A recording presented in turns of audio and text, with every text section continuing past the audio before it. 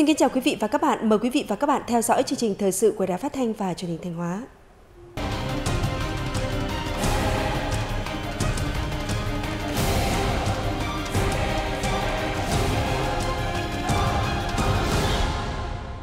Thưa quý vị và các bạn, với nhiều ưu điểm như phòng chống dịch bệnh tốt, cung cấp nguồn thịt sạch, góp phần đảm bảo vệ sinh môi trường và các vấn đề an ninh trật tự trong khu dân cư, mô hình giết mổ tập trung là yếu tố quan trọng để hình thành chuỗi cung ứng sản phẩm chăn nuôi bền vững. Đây cũng được xem là điều kiện để truy xuất nguồn gốc thực phẩm an toàn, đáp ứng nhu cầu của người dân trong thời điểm dịch bệnh phát sinh như hiện nay. Thời điểm này, lò giết mổ tập trung của gia đình ông Nguyễn Thế Tiếp, khu phố 7, phường Quảng Hưng, thành phố Thanh Hóa, vẫn duy trì giết mổ 15 con lợn thịt mỗi ngày, phục vụ chủ yếu cho các siêu thị, cửa hàng thực phẩm sạch, trường học. Sản phẩm thịt lợn từ lò mổ của gia đình ông được các đơn vị tin tưởng sử dụng do đáp ứng đầy đủ quy trình giết mổ sản phẩm an toàn với cơ sở hạ tầng đảm bảo. Đặc biệt, lợn thịt đều có nguồn gốc xuất xứ rõ ràng. Lợn chúng tôi bắt là đều có nguồn gốc. Đây, bắt ở những nơi nghĩa là không bị dịch. Mà trước lúc bắt là phải có thú y kiểm dịch. Và lợn phải qua tiêm phòng chưa qua 6 tháng trong quá trình giết mổ thì có thú y của thành phố về nên là kiểm tra này, sau đó là mới xuất ra các quầy hàng à, và bán lẻ ra thị trường. À. Hiện nay toàn tỉnh có 32 cơ sở giết mổ tập trung đạt tiêu chuẩn, chủ yếu nằm trên địa bàn thành phố và các huyện Quảng Sương, Đông Sơn, Hoàng Hóa, cung ứng hàng chục tấn thịt mỗi ngày cho thị trường trong tỉnh. Hầu hết các cơ sở được đầu tư xây dựng từ sự hỗ trợ của dự án Lipsap có đầy đủ điều kiện cung ứng nguồn thực phẩm đảm bảo an toàn cho người tiêu dùng. Lợn được đưa vào giết mổ được kiểm dịch, nguồn gốc xuất xứ rõ ràng, sản phẩm đưa ra thị trường phải có dấu xác nhận của trạm thú y quản lý trên địa bàn. Hiện nay thì cái dịch tả châu Phi thì chúng tôi đầu tiên là phải phun sát trùng đầy đủ, hai là phải bắt lợn như ở chỗ nào, phải biết nguồn gốc ở đâu, ba đấy thì khách hàng đến thì trước khi lấy hàng thì có tem dán hoặc đóng dấu thú y của thú y của cơ sở. Trong ờ, công tác kiểm soát giết mổ thì cũng hướng dẫn cho các xã là ờ, kiểm soát tốt cái cái cái cái cái, cái đàn ờ, lợn giết mổ bằng cách là kiểm tra trước khi giết mổ đến đến từng hộ giết mổ Ờ, và ừ, kiểm tra về nguồn gốc nhập ờ, lợn vào địa bàn hướng dẫn cho cán bộ là lăn dấu để truy xuất cái nguồn gốc ờ, ra ra ra ra thị trường. Thực tế cho thấy tất cả các khâu trong quy trình giết mổ tập trung đều có sự giám sát, kiểm định chặt chẽ của các đơn vị chuyên ngành, truy xuất được nguồn gốc nên chất lượng thịt đảm bảo, tiêu thụ bền vững trên thị trường. Do đó, chính quyền các cấp đang tiếp tục hỗ trợ, tạo điều kiện về đất đai, cơ chế chính sách, kết hợp với huy động nguồn lực xã hội hóa, phấn đấu đến năm 2020 xây dựng 100 cơ sở giết mổ tập trung theo quy định. Đến thời điểm này, huyện Lang Chánh đã triển khai công tác tiêm phòng cho gia súc gia cầm đợt 1 năm 2019 ở tất cả các thôn bản, đồng thời tuyên truyền cho người chăn nuôi về cách phòng chống bệnh dịch tả lợn châu Phi, phấn đấu không để dịch xảy ra trên địa bàn. Theo chỉ tiêu được phân bổ, đợt 1 năm 2019, huyện Lang Chánh triển khai tiêm phòng 12.700 liều vaccine lở mồm long móng và tụ huyết trùng cho châu bò, 12.400 liều vaccine lợn tai xanh và 165.000 liều vaccine cúm gia cầm H5N1. Hiện nay, một số xã trên địa bàn đã tiêm phòng đạt trên 60%. Dự kiến đến hết tháng 3, toàn huyện sẽ cơ bản hoàn thành công tác tiêm phòng đợt 1 và tổ chức tiêm vét vào tháng 4. Hiện nay chúng tôi đã đẩy mạnh công tác ờ, tuyên truyền đến các hộ, đặc biệt là đã cấp phát cái thuốc để cho các hộ phun tiêu độc khử trùng, chuồng trại ở tất cả ờ, các hộ chọn nuôi ở xung quanh trong làng bản, cũng như là chúng tôi đã tổ chức tuyên truyền và đặc biệt là hướng dẫn cái kỹ thuật và cách theo dõi đàn lợn và có biểu hiện lạ mà thì sẽ báo về cho trưởng thôn và từ đó báo lên xã. Đối với những nơi triển khai tiêm phòng chậm hoặc chưa triển khai tiêm một số loại vaccine dịch vụ, Ủy ban nhân dân huyện Lang Chánh yêu cầu chính quyền cơ sở tổng hợp số liệu, xây dựng kế hoạch tiêm vét, tiêm bổ sung, đảm bảo toàn bộ số vật nuôi trong diện tiêm được tiêm vaccine phòng bệnh và đôn đốc các lực lượng chức năng triển khai đồng bộ nhiều giải pháp để phòng tránh dịch bệnh, phun tiêu độc khử trùng, kiểm tra, tuyên truyền hướng dẫn người dân các biện pháp phòng tránh nhằm giảm thiểu đến mức thấp nhất nguy cơ bùng phát dịch bệnh tả lợn châu Phi. Thanh Hóa là tỉnh có tiềm năng lợi thế về phát triển kinh tế thủy sản, nhất là nghề chế biến xuất khẩu. Tuy nhiên, hoạt động của các doanh nghiệp chế biến hiện nay còn nhiều khó khăn, nguồn nguyên liệu thiếu và giá trị sản phẩm thấp. Trung bình mỗi năm, công ty cổ phần xuất khẩu thủy sản Thanh Hóa chế biến khoảng 15.000 tấn ngao, nhưng chỉ có 15% số nguyên liệu được thu mua trong tỉnh. Mặc dù tổng sản lượng ngao toàn tỉnh hàng năm đạt khoảng 20.000 tấn, nhưng phần lớn chưa đáp ứng các tiêu chuẩn chất lượng cho xuất khẩu, nên doanh nghiệp phải thu mua từ các tỉnh ngoài. Doanh nghiệp bây giờ đang phải đi ở các tỉnh Nam Định và Thái Bình để mua ngao đạt chỉ tiêu về chất lượng xuất khẩu. Để cái này thì làm cho tăng cái chi phí của doanh nghiệp lên, đó là cái chi vận chuyển. À, và cái khó khăn của cái công công doanh nghiệp nữa rất mong muốn cái sự ờ, vào cuộc của các ban ngành, à, các cấp cùng các với doanh nghiệp để làm sao Ờ, thường xuyên lấy mẫu, thường xuyên kiểm tra để cái vùng nuôi của Thanh Hóa đạt chuẩn đi xuất khẩu. Từ cuối năm 2018 đến nay, các doanh nghiệp chế biến thủy hải sản tại khu vực cảng cá Lạch Bạng, xã Hải Bình, huyện Tĩnh Gia đều dừng hoạt động do thiếu nguồn nguyên liệu. Theo ban quản lý cảng cá, mỗi năm các doanh nghiệp chế biến tại cảng chỉ hoạt động liên tục hết công suất trong khoảng 3 tháng, còn lại là hoạt động cầm chừng hoặc dừng. Nhu cầu nguồn nguyên liệu phục vụ cho chế biến tại đây khoảng 150.000 tấn một năm, nhưng sản lượng hải sản khai thác cập cảng hàng năm chỉ đạt khoảng 80 đến 90 ngàn tấn. Cái vấn đề đầu tư là phải đồng bộ. À, chẳng hạn như là vấn đề là là là đầu tư các cái hệ thống à, mái che để đảm bảo vấn đề chất lượng sản phẩm hàng hóa, rồi đảm bảo vấn đề an toàn vệ sinh thực phẩm. À, vấn đề nữa là cái luồng lạch ra vào thường xuyên được nạo vét. Ừ. Thì với thu hút được các cái tàu thuyền lớn có công suất ừ, sức trọng tải từ 150 đến 200 tấn thường xuyên ra vào để cung ứng cho các nhà máy. Toàn tỉnh hiện có 50 doanh nghiệp và hơn 1.300 cơ sở chế biến thủy hải sản đang hoạt động. Tuy nhiên, hạ tầng các cảng cá chưa đáp ứng được yêu cầu cho dịch vụ hậu cần nghề cá. Việc ứng dụng công nghệ nhằm nâng cao sản lượng giá trị trong cả khai thác và nuôi trồng còn hạn chế. Trong khi phần lớn các cơ sở chế biến thủy hải sản đều hoạt động ở quy mô nhỏ, công nghệ sản xuất lạc hậu nên chủ yếu thực hiện sơ chế, cấp đông, gia công nguyên liệu. Giá trị thủy sản xuất khẩu chỉ chiếm khoảng 5% tổng giá trị xuất khẩu toàn tỉnh. Để làm được cái việc mà cho cái chất lượng cao, đủ điều kiện để xuất khẩu thì hiện nay là cái khó khăn hiện tại nó tồn tại có hai cái. Thứ nhất là các máy móc phương tiện nó đã có cũ, cần phải đầu tư nâng cấp,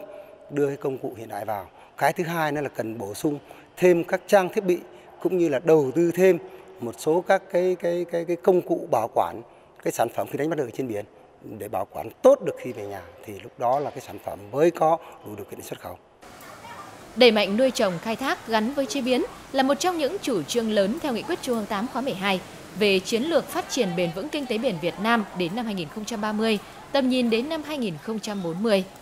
Thanh Hóa đặt mục tiêu đến năm 2020, sản lượng chế biến xuất khẩu phấn đấu đạt khoảng 46.000 tấn, tiêu thụ nội địa 60.000 tấn, giá trị xuất khẩu đạt 110 triệu đô la Mỹ.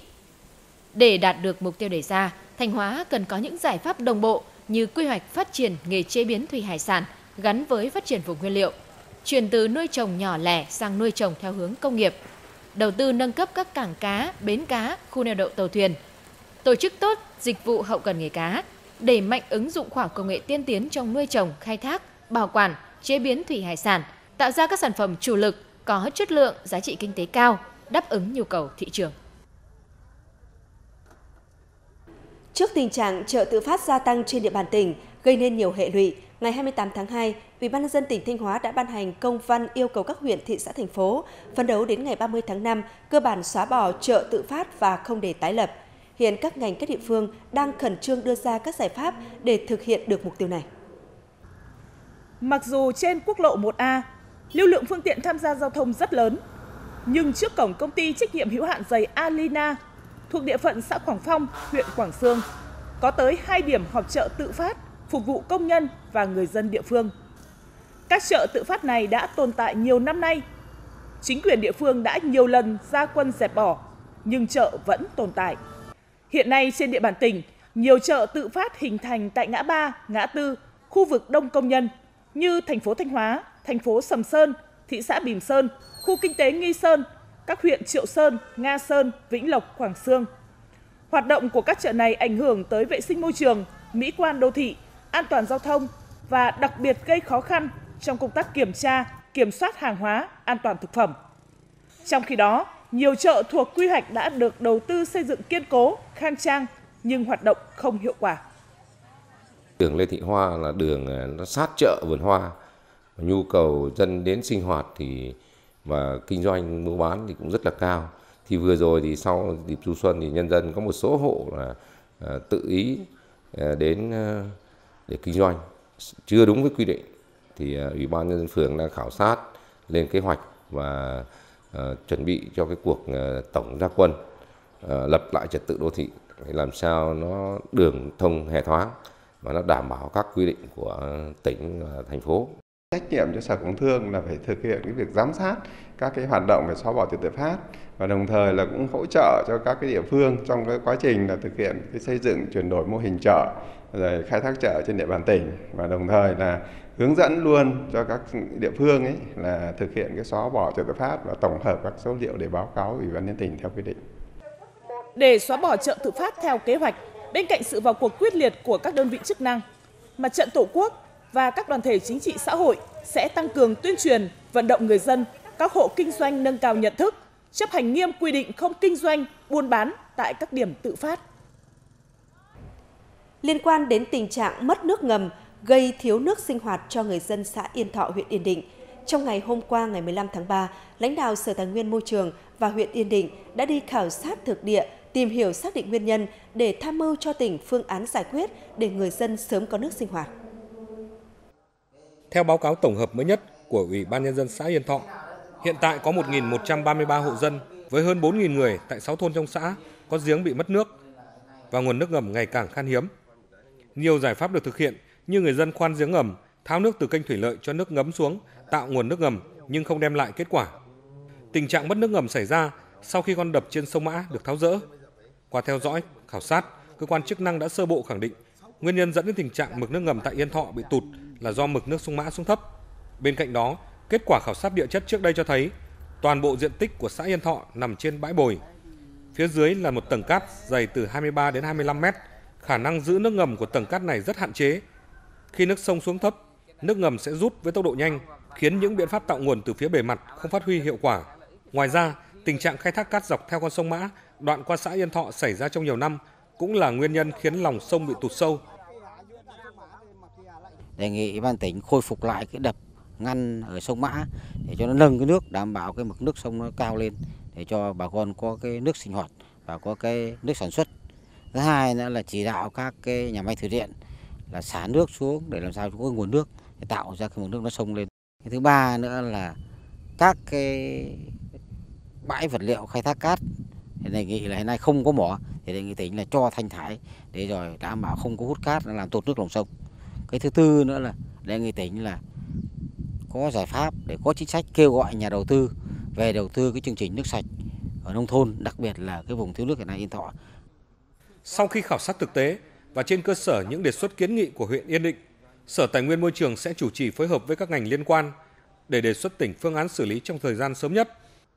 Tuy nhiên tại xã Yên Thọ, do các giếng đều hết nước nên tình trạng người dân khoan giếng ngầm khá phổ biến. Việc mật độ các giếng khoan dày đặc trong một khu vực hẹp chắc chắn sẽ ảnh hưởng đến nền địa chất và chất lượng nguồn nước có thể xảy ra tình trạng sụt lún về sau, nhất là trong mùa mưa bão. Do đó, Sở Tài nguyên và Môi trường khuyến cáo người dân nên hạn chế khoan thêm các giếng ngầm.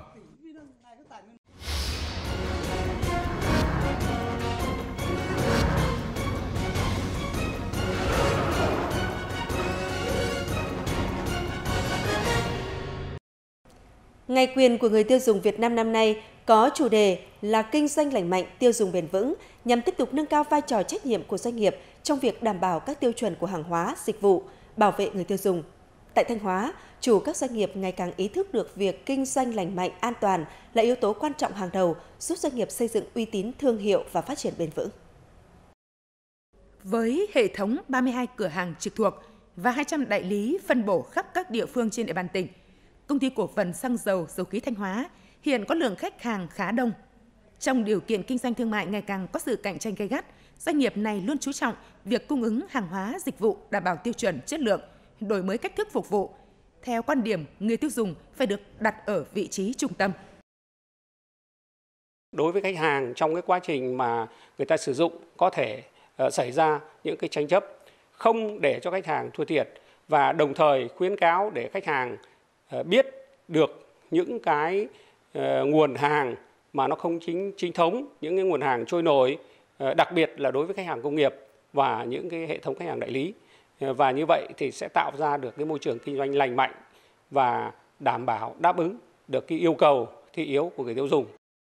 Hoạt động trong lĩnh vực đầu tư kinh doanh chợ, công ty trách nhiệm hữu hạn môi trường Trường Thi luôn lựa chọn các nhà cung ứng sản phẩm có nguồn hàng phong phú, nguồn gốc xuất xứ rõ ràng, đảm bảo chất lượng.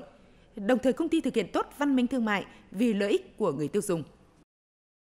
Ở đây rất rất là minh bạch về về về giao thương buôn bán. Tất cả các hộ buôn bán đều có biển bảng, tên, địa chỉ, số điện thoại để liên lạc. Thế và ngành hàng thì được bố trí rất là tiêu chuẩn, thông thoáng. Cái thứ hai nữa là từ giá kệ đến ballet lết là nhà đầu tư đầu đầu tư 100%. Một là mang tính đồng bộ với thứ hai nữa là về để đảm bảo. Thứ ba nữa là cái mỹ quan thương mại địa phương là cái rất cần. Cho nên là xác định cái mục tiêu mục tiêu cuối cùng là cái mục tiêu để văn minh hơn. Thanh Hóa hiện có khoảng 11.500 doanh nghiệp đang hoạt động. Trong quá trình sản xuất kinh doanh, mỗi doanh nghiệp sẽ chọn cho mình cách thức kinh doanh riêng, tạo nên sự khác biệt. Tuy nhiên, điểm chung của các doanh nghiệp chân chính là luôn biết cách cân bằng lợi ích giữa doanh nghiệp và người tiêu dùng, giữa lợi nhuận với lợi ích của cộng đồng, giữa các mục tiêu ngắn hạn với phương châm phát triển bền vững. Khách hàng là trọng tâm, khách hàng là cái tài sản lớn nhất của doanh nghiệp. Chính vì điều này thì à,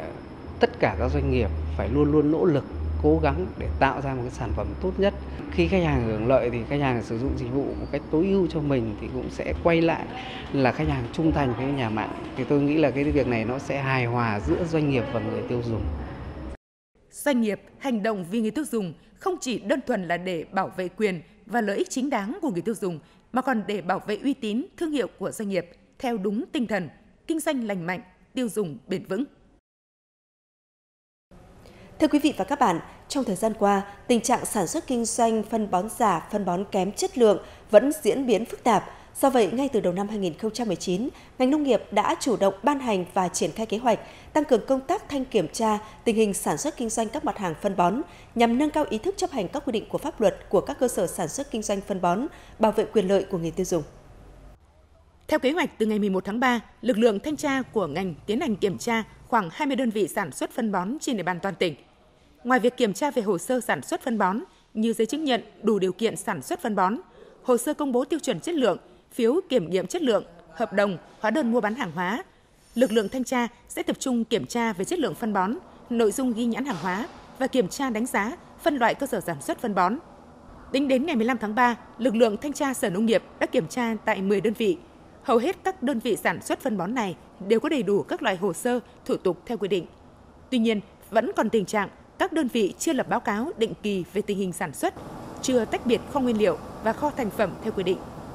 Đoàn kiểm tra đã nhắc nhở và xử phạt hành chính đối với một số lỗi vi phạm.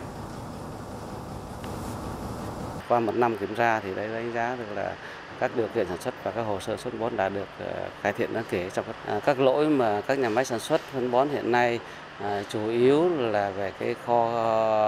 kho tàng và các kho thì hiện nay họ ngôi giờ mới đây là theo nghị định mới của chính phủ thì quy định thì các kho sản xuất nguyên liệu thì và các kho nguyên liệu và kho thành phẩm nó phải tách, tách được riêng biệt. Vừa rồi chúng tôi đã tiến hành xử phạt ở một số nhà máy mà các cái kho nguyên liệu và kho thành phẩm không được tách rời riêng biệt.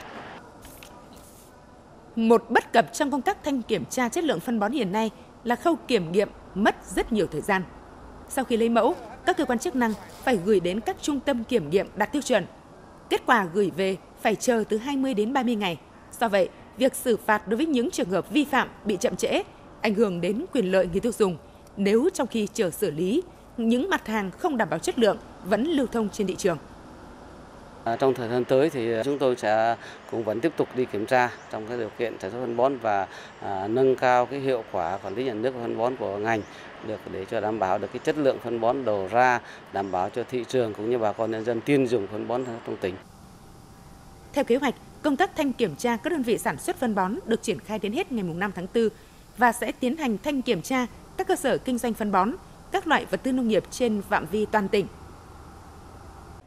Sáng qua ngày 15 tháng 3, huyện Yên Định đã tổ chức lễ công bố nghị quyết 129 ngày 13 tháng 12 năm 2018 của Hội đồng Nhân dân tỉnh Thanh Hóa về việc đặt tên đường, phố, công trình công cộng và gắn biển tên đường phố trên địa bàn thị trấn Quán Lào, huyện Yên Định. Tới dự có đại diện lãnh đạo Sở Thông tin và Truyền thông.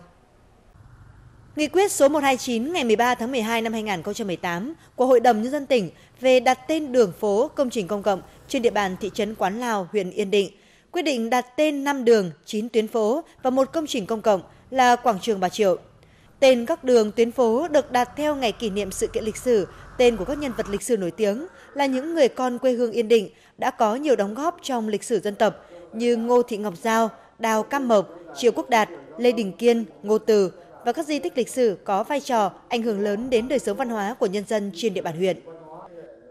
Sau lễ công bố nghị quyết, đại diện lãnh đạo Sở Thông tin và Truyền thông và huyện Yên Định đã thực hiện nghi thức gắn biển tên đường mùng 10 tháng 6 trên tuyến đường trục chính quốc lộ 45 qua thị trấn Quán Lào từ ngã ba xã Định Liên đến ngã ba cây xăng xã Định Bình với chiều dài 6 km. Hôm qua ngày 15 tháng 3, Thành ủy thành phố Sầm Sơn phối hợp với trường chính trị tỉnh tổ chức khai giảng lớp bồi dưỡng cán bộ dự nguồn, ban chấp hành Đảng bộ và các chức danh chủ chốt của thành phố Sầm Sơn nhiệm kỳ 2020-2025, 2021-2026. Trong thời gian từ ngày 15 tháng 3 đến ngày 20 tháng 4, 94 học viên là cán bộ lãnh đạo chủ chốt các phòng ban địa phương đơn vị của thành phố Sầm Sơn sẽ được tiếp thu 18 chuyên đề thuộc nhóm kiến thức chung về chủ nghĩa Mark Lenin, tư tưởng Hồ Chí Minh, nhóm kiến thức chuyên sâu trên các lĩnh vực hội nhập quốc tế, phát triển doanh nghiệp, phát triển kinh tế thị trường, định hướng xã hội chủ nghĩa, chiến lược bảo vệ Tổ quốc trong tình hình mới, chiến lược biển đảo, cải cách hành chính và đổi mới tổ chức bộ máy của hệ thống chính trị.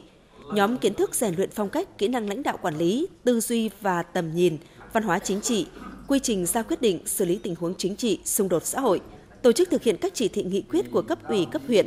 về phát triển kinh tế du lịch và quản lý đô thị tại thành phố Sầm Sơn. Kỷ niệm 66 năm ngày truyền thống nhiếp ảnh Việt Nam 15 tháng 3 năm 1953, 15 tháng 3 năm 2019, Ban nhiếp ảnh Hội Văn học nghệ thuật Thanh Hóa đã tổ chức tọa đàm tổng kết công tác năm 2018, đề ra phương hướng nhiệm vụ năm 2019. Cùng với sự phát triển chung của nhiếp ảnh cả nước, những năm qua, nhiếp ảnh Thanh Hóa đã có bước phát triển đáng khích lệ. Các hội viên ban nhiếp ảnh đã tích cực sáng tác nhiều tác phẩm mới giá trị, góp phần tuyên truyền hình ảnh đất và người xứ Thanh. Thông qua các cuộc thi và triển lãm ảnh của các hội chuyên ngành, các cuộc thi ảnh quốc tế, khu vực của tỉnh tổ chức và đã đoạt giải thưởng cao.